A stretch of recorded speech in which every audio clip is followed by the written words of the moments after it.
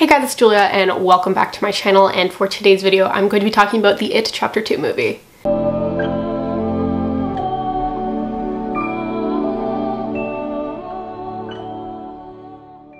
So this review is going up a little bit late, but I've been at university and I'll probably be doing an update video soon just about what I've been reading and all that sort of stuff, so look out for that. So you guys have been highly requesting this video for a while and I'm really excited to give it to you guys today even though I kind of have more of a it's been getting mixed reviews the movie but I have more of I wasn't I didn't love the movie but I still really want to talk about it with you guys. It Chapter 2, of course, it is a book by Stephen King, if you do not know. I have a video on my thoughts on the book, on the, my thoughts on the first movie, and I have my thoughts on all the trailers leading up to It Chapter 2. So, as you can assume, I was really highly anticipating this movie.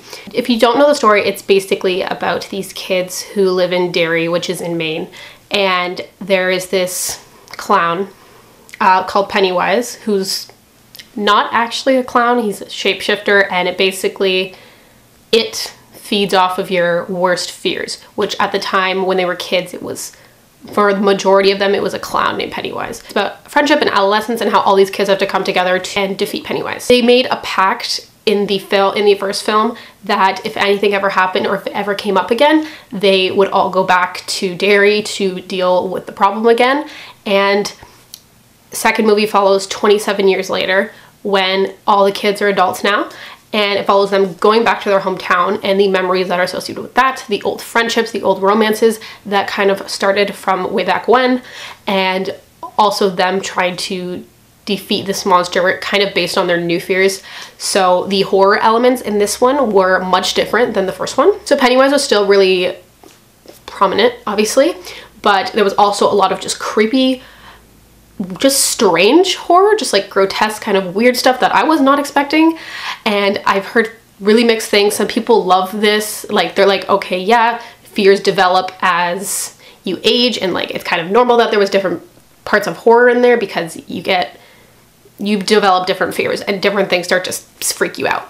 So that's kind of one side and then the other side is that they really took away from like the gore and the murder and like those aspects just to put kind of like creepy like shock factor stuff in which I more agree with that side because it just wasn't my type of horror so I was really sad that it was just really random stuff like just spider legs coming out of Stanley's head just like stuff that I was not expecting at all. So I definitely prefer the first movie as opposed to this one just because the first movie is just a much stronger film. I think it had much more substance to it and I think myself as, as, well as a lot of other people really liked the way the children were portrayed and the child actors did an amazing job. Not to say that the adult ones didn't because Bill Hader who played Richie did an absolutely amazing job and Richie was still kind of the comedic staple as the first film was as well. Adult him was the same so that was really nice. Um, Bill Hader did was did an amazing job and he's hilarious and I re I realized after how where I recognized him from and it was Saturday Night Live and I was like oh my god how did I not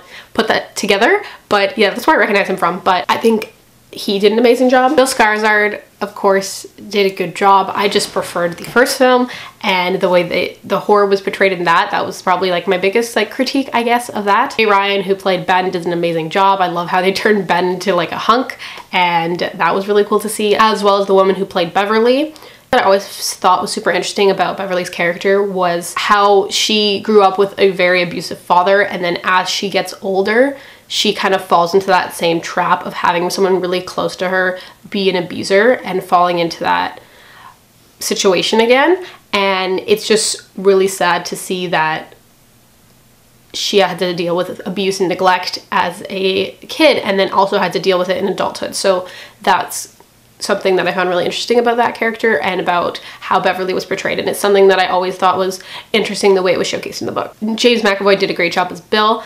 I like how they kind of they talked a bit about the stutter in there and I just thought he did a really good job with Bill, especially all his feelings about Georgie and about what happened to his brother and how that has affected him. I had Stanley, Mike, and Eddie, of course, so James Ransone played Eddie, and I think he did a great job of just channeling Eddie's kind of like anxiety, paranoia, his like ner- his social awkwardness, his the whole placebo thing still came up and I just loved all those things that um, or in the film, and I think he portrayed Eddie almost perfectly, and it was just so him and the childhood him to the adult version was such just like a good match. Isaiah Mustafa played Mike, which I thought he did a good job as well.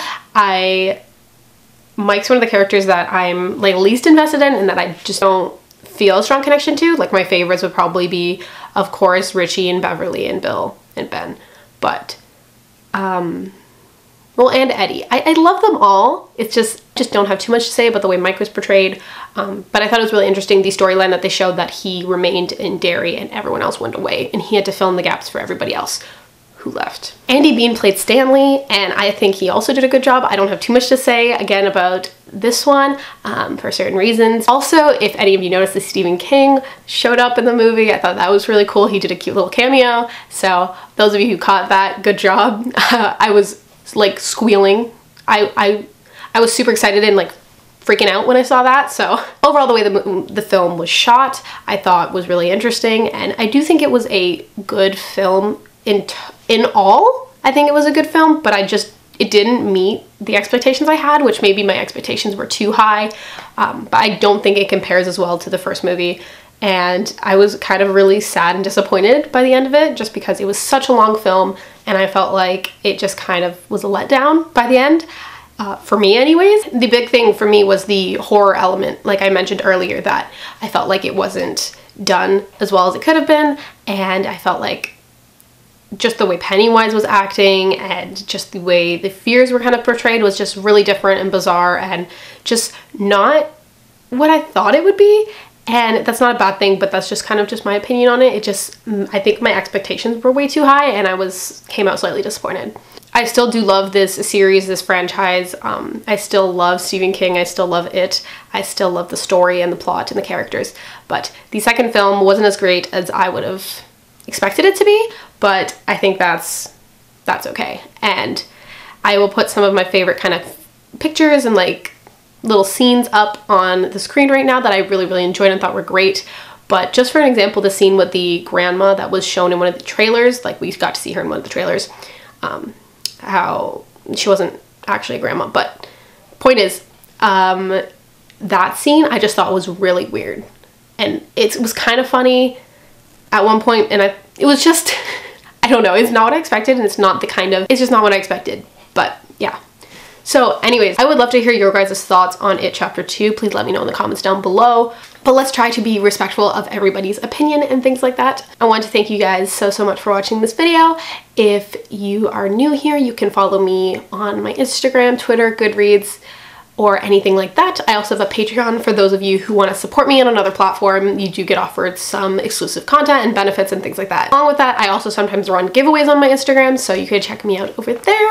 And also my Stephen King playlist if you're interested, and my film and TV show review playlist. It will be also linked. Thank you guys so, so much for watching. I hope this video kind of helped or gave you some insight into my personal thoughts. I've been getting a lot of requests to do this video, so that's why I wanted to make it. And I've done so many videos leading up to this film, so I had to. But unfortunately, it was just okay. And that makes me really sad, but I still did a lot. I still do think a lot of the messages were done well, and I do think adolescent to adult transition I thought was really good. It worked perfectly, and the characters were so fleshed out, and that's something I really love. But I don't know, it didn't blow me away, unfortunately. Thank you guys so, so much for watching, and I'll see you super soon. Bye!